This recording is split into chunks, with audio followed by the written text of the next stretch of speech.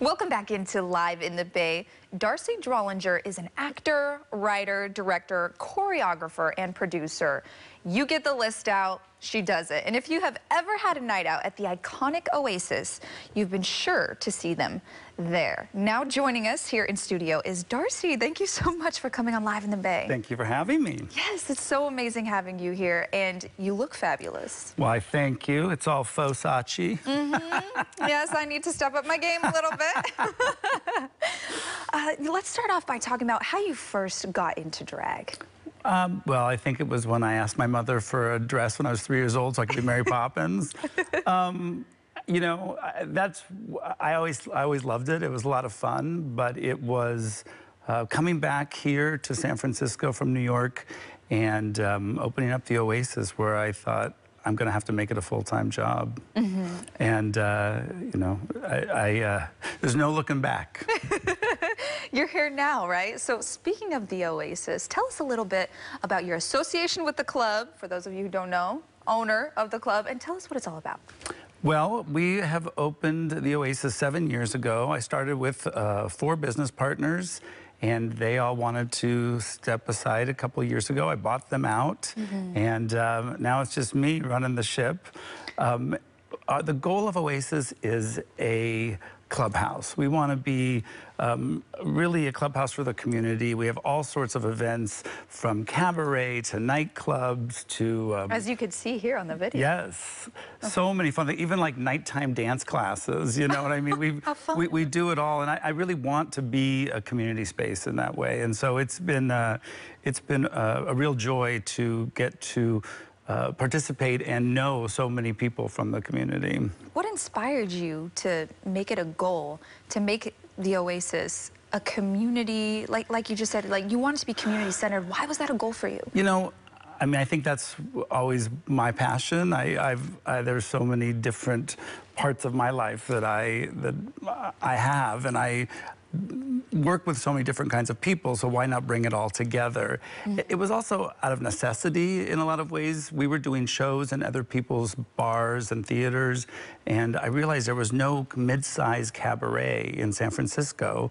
So instead of finding another place um, to do it in someone else's venue, why not make your own? And we exactly. did, and people really got behind it. And uh, you know, I always say to everybody, we can turn the lights on, open the doors, put the wigs on. Yes, I'm wearing a wig.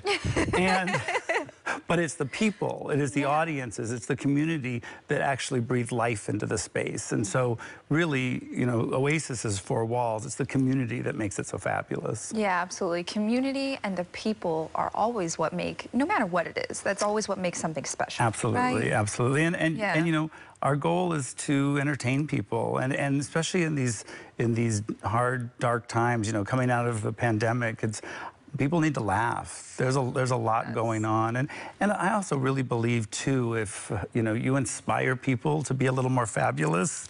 Um, if they're a little more fabulous yeah. and everyone is a little more fabulous walking down the street, you inspire other people. And then yeah there's that much less room for hate and violence in your hearts and your minds. So spreading fabulosity is uh, very important to me and the whole Oasis staff. I love that. I, I might steal that from you. you because it's true. You came in looking gorgeous. I was like, oh, she inspired me. I need to put my good lipstick on. there you go. There you go. I also think it's always good to tell people when you think they're fabulous. Because you know so what? Too. As much as I you think, think so someone knows they're fabulous, tell them. Because we yeah. all need to be recognized. I, I completely agree with that. I've actually told my husband that before, like, especially when it comes to women. It's so important for, you know, for us just to uplift one another and Absolutely. And it's not just about paying a compliment if you don't mean it. You have to mean it from the bottom of your heart. Absolutely. But you never know when someone might need that. I, you know, it, it's so easy to be isolated nowadays, and we're all on our computers. Yeah. I think it's really important to, you know, recognize people, even like from your barista to your bank teller yeah. to, you know, someone on a Zoom call. Absolutely. Know. All right, well, Pride is officially, the parade is officially coming back Ooh, to the city. I know, it's amazing. Round of applause for that. Yes. What's going on at Oasis during Pride? Well, we have a, we've, I mean, we've had a crazy month, but we've got a really exciting whole week pack from tonight. We've got Legends of Drag. It's a new book that just came out um, that really focuses on the trailblazer uh, drag performers Um, and, a lot of them are going to be there performing tonight, which I'm excited Exciting. for. Yes, we've got the Frame Lines Centerpiece Party on Thursday. Friday, we have um, Jackie Beat and Sherry Vine from LA doing their comedy act. We've got Bootie, which is a mashup party where they mash up the songs. You know, it's going to be really, really fun. Saturday, Sancha, who is an amazing Latinx um, singer who was from San Francisco originally and now is world famous, is coming and with a cavalcade of, of stars. That's our Saturday night party. It's called Princess. Wow, a star lineup. I know. And on Sunday we have a we have a pool party. Oh, it's a pool party. we have a waiting pool. Um, and uh, during the day for people if they want to come by. And then on Sa- Sunday night we've got another great one. Raja from Drag Race and Kevin Aviance is from New York DJing. It's going to be a lot of fun. wow, it sounds like you guys have a really fun-packed weekend for And Pride. we're we're for the first year Oasis has a float in the parade. What? Amazing. We're- I'm gonna I'm gonna keep an eye out for it. Now, what's the theme? What's the theme on the float? Well, well, the theme of the parade is "Love will keep us together," and Yeah. well, that's my theme all the time.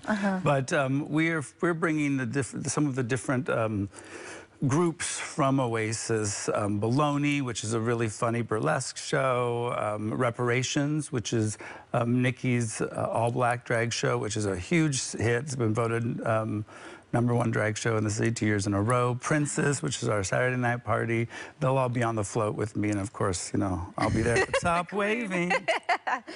Amazing. Now, before b- the last one I want to talk to you about, there's a beautiful mural that just came out. Can we Yes. tell the audience a little bit more about that? So, you know, I have actually started a nonprofit arm of Oasis called Oasis Arts, and our first project was to create a mural. We found 5 muralists that worked together to create one cohesive design that wrapped the entire building. The Leather Cultural District and the Sisters of Perpetual Indulgence also worked at supporting the, the mural, and we just finished it. We had an unveiling um, on June 2nd, and it's, it's been it is fantastic. If people want to stop by, take a picture, it'd be great for their Instagrams. Wow, really? Yeah. So so beautiful. I, I can't wait. I can't wait to see. Especially you said beautiful pictures for Instagram. Yep. There you I'm sure so many people There are going to you be there.